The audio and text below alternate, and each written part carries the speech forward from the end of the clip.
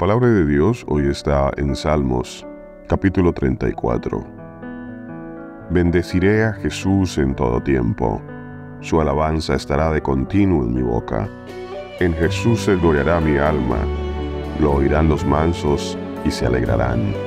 Engrandeced a Jesús conmigo y exaltemos aún a su nombre.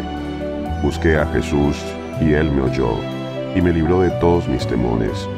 Los que miraron a él fueron alumbrados, y sus rostros no fueron avergonzados. Este pobre clamó y le oyó Jesús, y lo libró de todas sus angustias. El ángel de Jesús acampa alrededor de los que le temen, y los defiende. Gustad y ved que es bueno Jesús. Dichoso el hombre que confía en él. Temed a Jesús vosotros sus santos, pues nada falta a los que le temen. Amén.